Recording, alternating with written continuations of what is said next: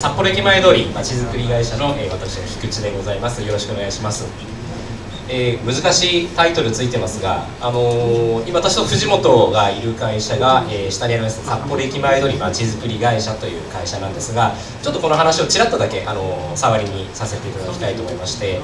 えー、私どもの会社は、えー、公共空間の管理運営を普段している会社でございまして、えーと、札幌というのは、えー、190今6万人ぐらい、えー、人口がいるんですが、えー、JR の札幌駅から大通りすすきのという一直線でですね大体1.5キロぐらい、えー、地下道があるんですが、えー、そこの、えー、札幌駅から大通りの部分の公共空間の管理をしたり、えーと地上に新しくできた広場の管理をして、えそこから上がった収益をまちづくりに返すというエリアマネジメント組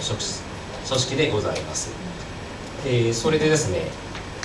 普段えー、何をしているかあ今これがそうですね、えーと、札幌駅が、えー、ありまして、えー、大通り、地下鉄大通りが下ですね。その南側に行くと、えー、歓楽街のすすきのというところがあるんですが、えー、地下と地上の公共空間の管理をしています。で、えー、あ次スライドいいでしょうかもう一つさ、えー、行っていいです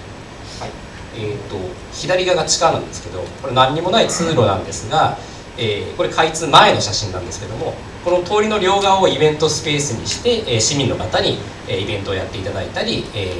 ー、手作り品の販売をしていただいたりでこちらの右側が昨年できた、えー、道庁の赤レンガ庁舎の前にある広場でして、えー、こちらの方で、えー、今紹介がありました札幌8月祭というのを、えー、今年開催をさせていただきました。であのこういった授業をしてますよということで、えー、先が詰まってますのでサクサクいきたいと思いますがこういった子ども向けのイベントを主催したり、えー、こういった工芸祭、えー、をやったりですね。あと、えー、こういった地元の食材のマルシェをやったりと、えー、こういった活動を普段しております、えー、それであどんどん行っていただいているんです。これはアートイベントですね。で、えー、次行っていただいて結構ですえーと、これがですねあの昨年今映ったのが昨年の、えーと、盆踊りですね。北三丁広場で盆踊り。国際芸術祭の特別プログラムの一環として、えー、開催をさせていただいたイベントです。で地上でもこういった賑やかしのイベントこれは冬のイベントですが、えーと、夜夜空にですねレーザー光線で星を描いたりとかこういったイベントをさせていただいております。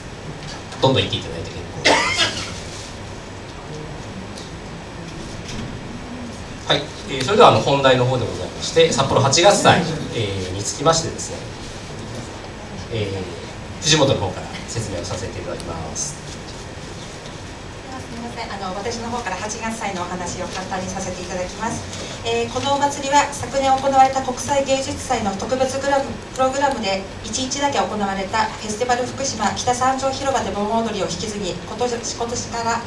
新しく町のお祭りとして開催いたしました。札幌の町は歴史が浅く地元に根付いたお祭りがあまりなく町会社のある中央区は大手企業が多くオフィス街のため転勤族も多いので同じビルでありながら企業間の付き合いがないというのが現状です。そこで町の主役であるサラリーマンや OL にお祭りに参加してもらい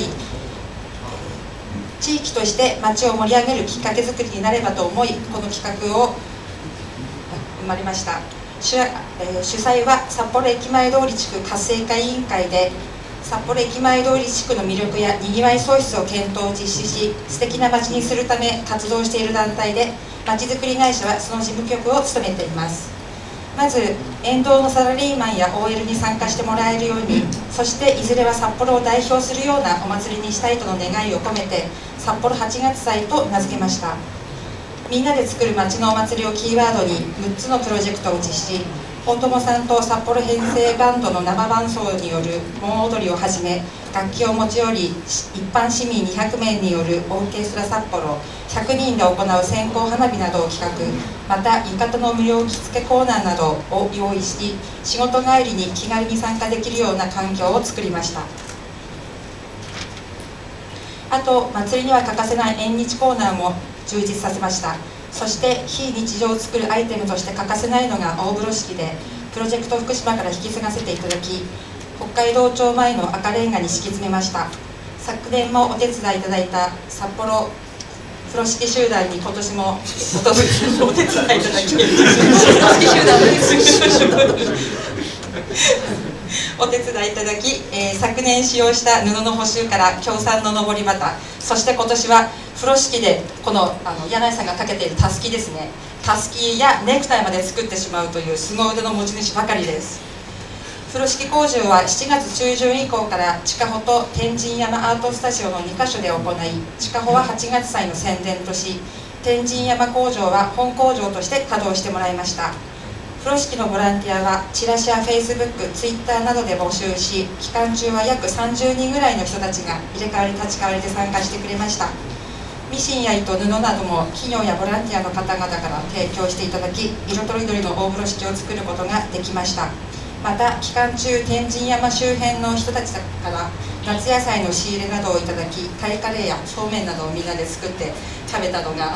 結構印象的で楽しかったです。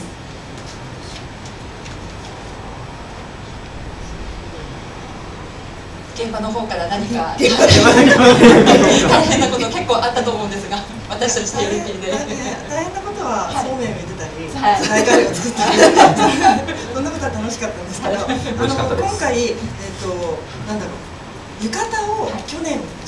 14年度の時は浴衣をみんなで着れたんですよ、はい、でもそれができないってなった時に、でもみんなで同じコスチュームがしたいってい。うんで、はい。絶対浴衣作ろうっていうつもりで2週間の枠しかなかったんだけどそこで作るつもりでいましたが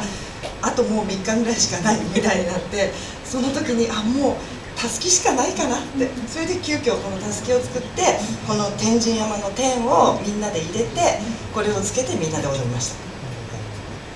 あとは畑見さん。畑見さん。はいどこどこだろうあの、えー、先ほどもご紹介預かりましたがあの畑さんの妹分ということで畑美という私中身中の人は違う人なんですけれども あの畑美ということでやってます。でこれあのゆるキャラあの昨今あの流行りのゆるキャラに対抗しまして実はゆる,、ね、ゆるくない ゆるくないキャラです。ゆるくないは北海道弁なんです。はい、北海道弁で結構きついよっていう意味で。中入ってると暑いです。以上かね。しんちゃん、しんちゃんもぜひ一言。はい。理事長。あ、えっと。えー、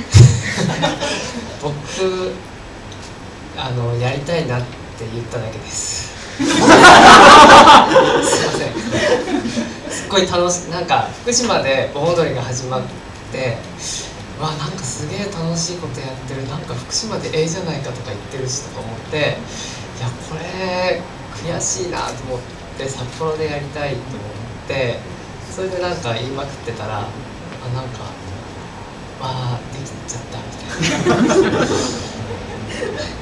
今日今年はあのね札幌でオーディションとかもしてもうなんか地元バンドであのを作っちゃったっていうのがちょっとこう自慢です。はい、はい、です。あ、あのあれあこの旗旗で思い出したんですけど、そう旗の時に 2012年の時になんかねあの。えーと、同時多発ってことだったので,、でそうプロジェクト。プロジェクト。プロジェクト福島っていうことで勝手になんかイベントを勝手にやってでその時に大友さんにあの来ていただいてなんかねヤギのいる畑であの オーケストラをやってもらったというあの経緯があります。はい、それで、あ、大丈夫です。